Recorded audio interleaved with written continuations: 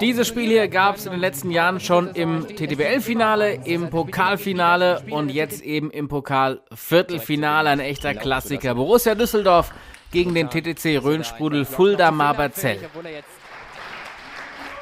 Seit dieser Saison setzt ja Fulda ganz klar auf die Jugend mit dem Sohn des Trainers, Fan Bomeng. Der hatte am Freitag seinen ersten Sieg in der TTBL eingefahren, seinen ersten Einzelsieg.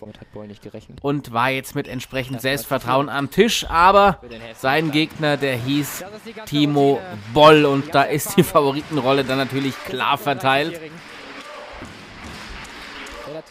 Die deutsche Tischtennis-Legende gegen Jugend forscht. Boll 2 zu 0 Sätze schon in Führung.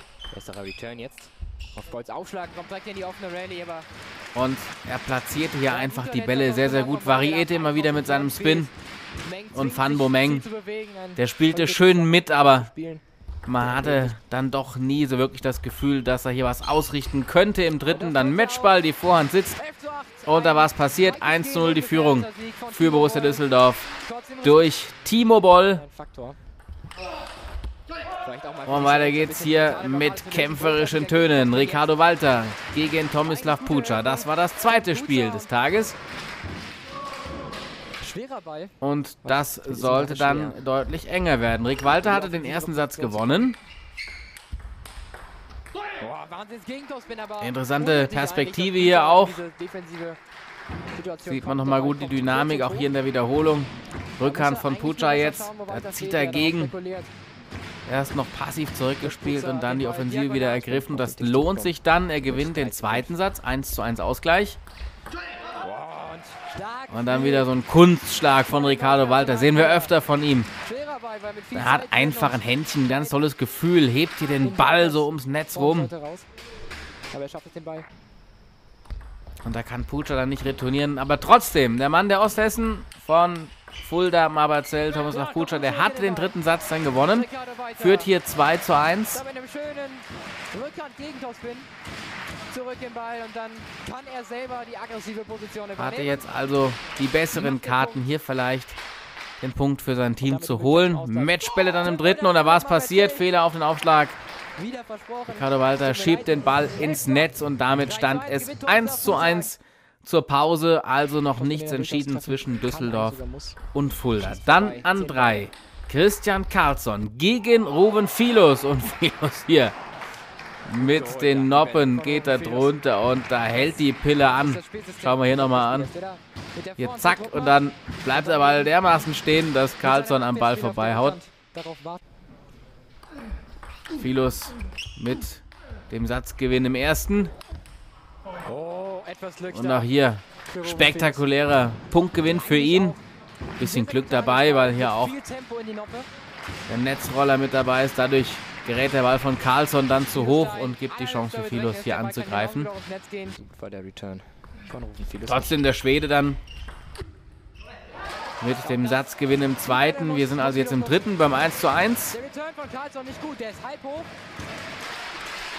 Da kann, man, da kann er angreifen. Das muss er Und das war natürlich jetzt schon ein eminent wichtiges Spiel. Denn Fulda wusste, als nächstes würde wieder für Düsseldorf Timo Boll an den Tisch gehen. Und er ist ja eigentlich immer für zwei Punkte gut. Also jetzt hier Vorteil Christian Karlsson, Vorteil Borussia Düsseldorf im vierten Satz. Matchbälle für den Schweden. Ja, und dann war es passiert. Ball springt auf die Tischkante und dann kann Philos nicht mehr gut retournieren. Damit jetzt also Düsseldorf wiederum in Führung. 2 zu 1 und dann Boll gegen Pucha. Gerade diese Öffnungsbälle müssen passen. Guter Ball dafür jetzt. Beide hatten ja ihr erstes Spiel gewonnen. Boll gegen Meng und Pucha gegen Ricardo Walter. Aber klar, Boll hier natürlich eigentlich der Favorit. Trotzdem, Pucha zunächst besser im Spiel, holte sich den ersten Satz, im zweiten dann er auch in Führung, lässt aber hier eine ganz gute Chance eigentlich liegen, weil er hier im Angriff ist, dann zieht Boll gegen und dann verzieht Pucha hier mit der Vor und er springt ihm seitlich weg. 0 zu 7. Und dann holte sich eben Timo Boll noch den zweiten Satz. Und das war natürlich wieder ein ganz großes Kino. Gucken wir noch mal. Boll nimmt den Schläger in die rechte Hand, wechselt also die Schlaghand während des Ballwechsels und holt diesen Punkt. Immer wieder so ein Überraschungsmoment, diesen Handwechsel, den sehen wir doch immer öfter mal. Ich glaube, ab und zu macht er sich einfach mit seiner ganzen Erfahrung auch Spaß draus, den Ball nochmal so zurückzuspielen. Denn oft zahlt sich dann eben auch aus. Also Pucha hier weiterhin gut mit dabei, aber Timo Boll im vierten dann mit Matchball 10 zu 9 und Pucha flippt den Ball über den Tisch. Und da war es passiert. Düsseldorf gewinnt 3 zu 1 und zieht damit ebenfalls ins Final Four in Neu-Ulm ein. Nein, ich glaube normal. Äh, Felix ist ein guter Spieler und hat diese Saison gut gespielt. So, äh, ich bin sehr zufrieden mit meinem äh, Spiel gegen ihn. Und du bist auch zufrieden mit eurem Gesamtergebnis? Ja, ein wichtiges Spiel. Äh, letzte Saison wir haben kein Final Four gemacht, so dieses Jahr war es sehr wichtig für uns und ich glaube, ich habe super Leistung gemacht klar, wir sind verrückt gewesen. Äh, der Borussia hier. Ähm, wir haben mit einem 3-1 gerechnet, also Minimum ein Spiel zu gewinnen. Ähm, wir haben auf den Doppel gehofft, weil den Team muss immer schwer zu gewinnen. Äh, und wir dachten, vielleicht einen holen Punkt vielleicht noch, wenn wir Schluss doppeln.